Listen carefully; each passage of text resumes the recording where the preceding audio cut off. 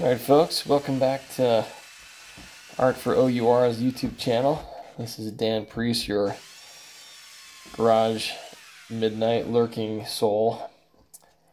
Um, this was an interesting project. It took a turn I did not expect and turned out to be better than I expected. Just kind of the theme of my projects, let's be honest. My um, inspiration for this one came from different stained glass things I'd seen, uh, some patterns on gates that I'd walked past, so it's hard to give people the appropriate um, credits. I don't know who the, the artists were that designed these things, but it's kind of a, an attempt at stained glass, but not really. Just it was the inspiration for it. Um, this was a piece of cherry wood that my brother-in-law Chris donated a while back. It finally dried out well enough to be of use. Had some beautiful grain to it.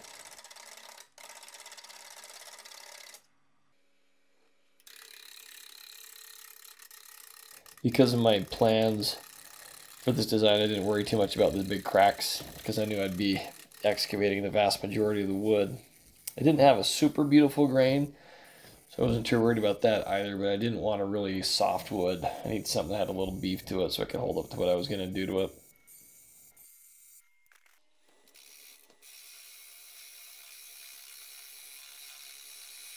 So one of the uh, things I wanted to try that was different on this project than I've done on anything else is I wanted to have graduated colors, uh, different shades of blue, and normally the way I do it, I pour the whole thing so at once, and so it's going to be one solid color. So to make every little window a different color blue, I needed some quick setting resin. So I thought I would experiment with some uh, UV setting resin, and it worked and it didn't work. Um, I'll be honest, I didn't do a ton of research on this before, but the brand I used I, I'm not even sure what the brand is. It's kind of a no-name knockoff on Amazon. But under the UV light, it's set up you know, two or three millimeters thick. And maybe that's normal for UV resin. I don't know. Um, but unfortunately, it didn't set super thick. So I didn't capture the different shades of blue that I was hoping for as well. I still got it, but it wasn't wasn't as dramatic as I was hoping. Uh, the other problem was is I was pouring it a centimeter or two thick at times, and the the the instructions that came with it said that it could set up to a centimeter. So I was hoping to get at least a centimeter thick shelf. Anyway, that didn't happen, and the underside was super gooey, which was fine, but it made for finishing the inside super super challenging, as you will see.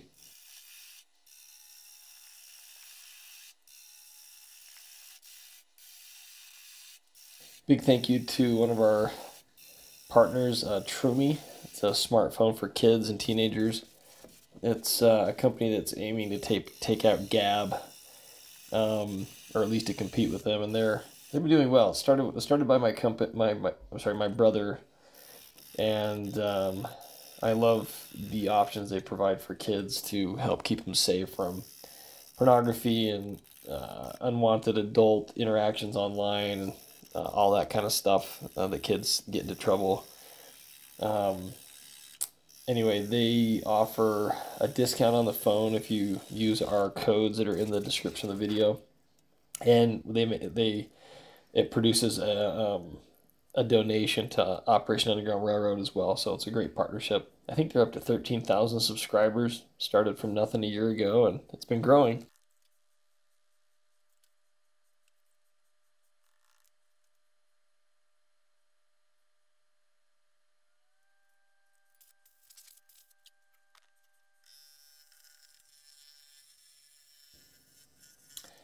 We uh, finished off the year quite strong with art for OUR. I think we almost hit 90,000 bucks that we've raised so far and we've been able to donate. Uh, one of the uh, best things I've heard recently coming out of Operation Underground Railroad is they, this last year, they assisted in the adoption of I think 116, 120 kids, which is amazing. Um, getting them out of uh, bad situations and, and into hopefully loving and caring homes. So, awfully proud to be assisting in that in a little way.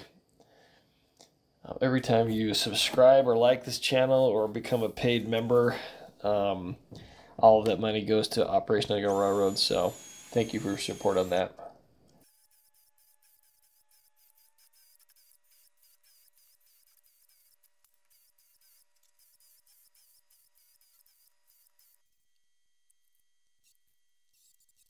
Um, experimenting more and more with carving wood with power tools, trying to figure out how to do it. And um, I have to tell you, Arbortech is the king. I tried out a, a Merlin system and burned it out in a few hours. That was last year. But Arbortech has got it figured out for small carving needs small to medium, not not so much a Dremel size, but kind of the medium size, but not your bigger carving disc or, or chainsaw level. And I'll show you this here how awesome it is. At first I tried this out with just my big drill and it kind of worked, but drills are unwieldy and they unfortunately cut into my walls because I was pivoting it, sweeping it back and forth and that turned out to be a dumb idea. But getting it all softened up and weakened made it a lot easier to use the Arbortech um, instrument you'll see here. Uh, and the combination of the two worked out really well. So I was actually quite happy with it. Um, basically, Arbortech takes a grinder and figures out different attachments attachments for it.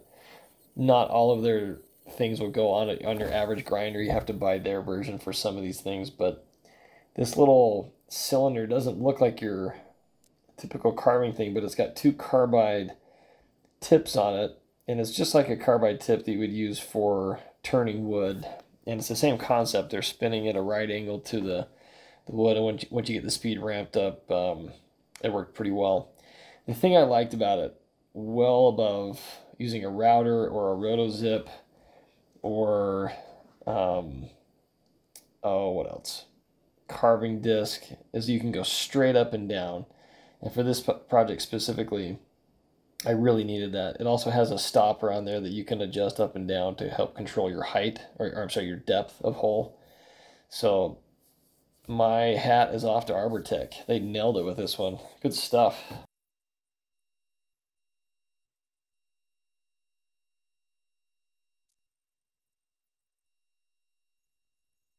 As always, um, I always donate my projects to Operation Underground Railroad by way of art4our.org. It's a website I helped start with um, a team of awesome volunteers, and we've got over a hundred artists who've donated things so far. Um, I've been experimenting with auctioning off my pieces, at least to begin with. They don't always sell, but um, right now I've only got one or two pieces that aren't that are available. As of today, which is January 10th, 2023. This is for, for sale at auction. And there are bids on it, so here within a week or so, this, this auction will end. And that'll be your last chance to buy it. But we got a couple of bids so far, and it's going for a good price, so I'm actually quite happy with it.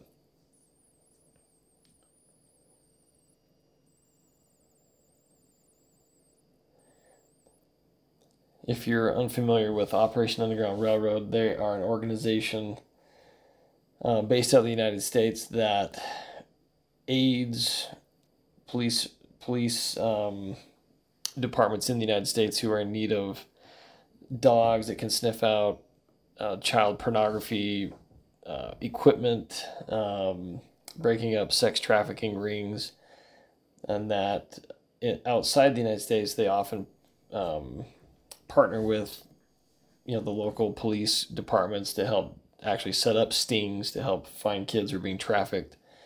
And I, think they've stopped releasing the total number of kids they've helped but it's well over five or six thousand kids they've helped um, free from trafficking situations. And they've helped arrest thousands of uh, perpetrators pedophiles whatever and uh, yeah, it's pretty awesome work. pretty horrific problem, obviously, but um, it is a problem out there, and I'm I'm uh, so happy that there are organizations like them that are going after these people and making it harder for them to to uh, disrupt children's lives like that.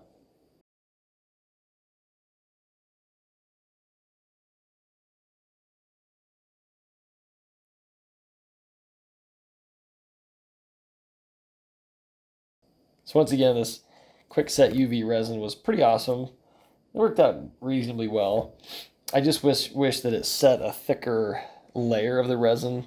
I expected the underside to be gooey and not set. That was fine. I just wanted the um, the layer that did set to be about halfway down inside my window. And then I was planning all along to do a final pour with kind of a light blue to finish off the top layers and reinforce the other windows. Uh, but it just didn't set deep enough to capture the real beautiful gradient in blues that I was trying to get. So a little disappointed in that. If any of you out there are experts in UV setting resin that sets thick, and I'm talking like quarter inch plus, half inch, I would love to hear from you if you've got any recommendations. Um, it was kind of cool that this, uh, this little UV light, I would set it for 90 seconds and it worked pretty well. Now I did notice that the thicker the pigment, the less the resin would set up. But even on the really clear stuff, it still was a very thin layer that set, so it didn't make that much of a difference.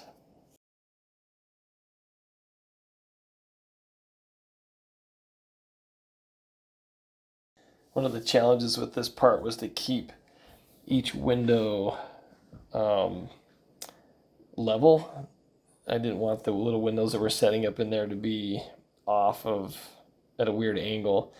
So I got really frustrated with it being on the lathe and took it off, put it in this box filled with paper so I could situate it however I wanted, and that actually worked out really nicely. Plus, it didn't make a mess on my lathe. You've probably noticed by now that my lathe has had the crap beat out of it. I, I am not gentle with my tools. I push them to their limits and make a big mess with glue and resin and uh, not your typical professional YouTuber wood turner guy. It's all right. I like people to look around my garage shop and realize that uh, this is just a straight up amateur effort and uh, what the guy down the street might be working on, you know?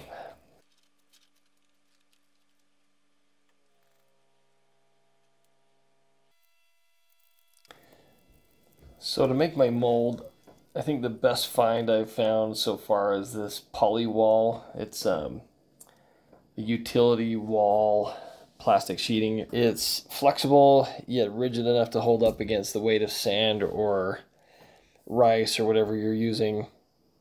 It, you know, you, you just super glue it right to the wood so it hugs the surface tightly. And the goal here is to waste as little resin as, as possible because it's such expensive stuff even though I'm being sponsored by Total Boat, which is an amazing sponsor, and they've they've donated so much resin to help this charitable project go forward. Um, still like to conserve it so I can get push it as as far as I can. So this this has been the best thing I've come up with. It's the best way of creating a custom mold. Since my projects are always different shapes, I can never find bowls and things that fit it perfectly. So, so you line it with that rigid plastic sheeting, put it in three garbage bags in case you get a leak. Put it in my mm-hmm. pot that goes both in my vacuum chamber and my pressure pot. Fill it full of rice, and that pushes the bag tight against the the uh, plastic wall, and that way I get resin almost exactly where I want it. Um, we're using thickset Fathom resin um, by Total Boat, which allows you to go anywhere from two to four inches in depth or wall width, however you're looking at it the um the, that that depth can be pushed bigger if you keep it cooled well. And this is a, my favorite time of year to work in my garage because it's winter and it's about 50 degrees out there. And so the resin's still, it's not so cold that it won't set, but it's it's cool enough that I can get away with murder and have it super deep and I don't get the bubbling and boiling and cracking that happens if you let it get too exothermic. On this project specifically, I only did it through the vacuum chamber just to encourage the resin to get into all the cracks and crevices and, and holes. And I did that on purpose because I noticed as I was using the quickset UV resin, it was leaving some bubbles and lots of irregularities, which was totally fine with me because I was going for the uh, the stained glass look. And so I didn't want the top part to be perfectly clear and not match. And so I, I just did the vacuum chamber to help it set into the wood and left it a little bubbly, which which was fine. Um, a lot of things I could improve on in this one, but in the end it looked ended up looking like an ocean and I didn't mind the bubbles with how I textured it inside. It looks like you're uh, underwater looking up at ocean waves go by, something like that. One thing about doing these big pieces is um, whether you use the pressure pot or not or the vacuum chamber, the I usually do it upside down so I don't destroy my, my tenon. And so I'm trying to keep the tenon just barely above the level of the resin. And that's hard to do because at every stage the resin settles and it settles. And so I always keep a little extra in a little pot of the same color I'm using so that I can top it off. And so you got to check on it every few hours, at least at the beginning, to make sure you don't end up with too low too low a level of resin. The uh, other nice thing about this plastic wall sheeting is that uh, it's fairly soft, and when you turn it on the lathe, it turns off softer and easier than the actual resin, so it's no problem at all. And of course, the plastic bag comes off no problem. You gotta watch it though. Sometimes you get little folds in the bag that fill with resin, and that can turn into a missile. so sometimes I'll I'll take my hand grinder and cut off any loose pieces so that it's not dangerous.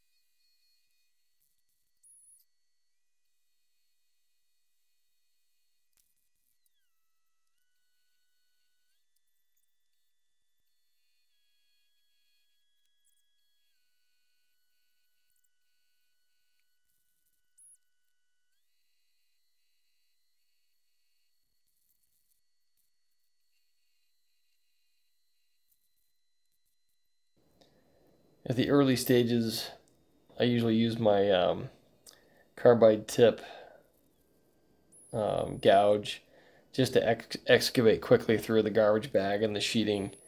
But you got to be careful because it chips. Resin loves to chip like crazy, and if you if you're too aggressive with it, you'll get a deep, deep chip that you'll spend the whole time trying to get out, and then you'll ruin your project. So as soon as I get close to my windows where I'm getting getting close to where I want it to be, I'll stop and I'll use my smaller negative rake carbide tip uh, or a scraper or something that's pretty benign just so that I'm just taking out little bits um, so I don't get deep into one of my windows and ruin the whole effect.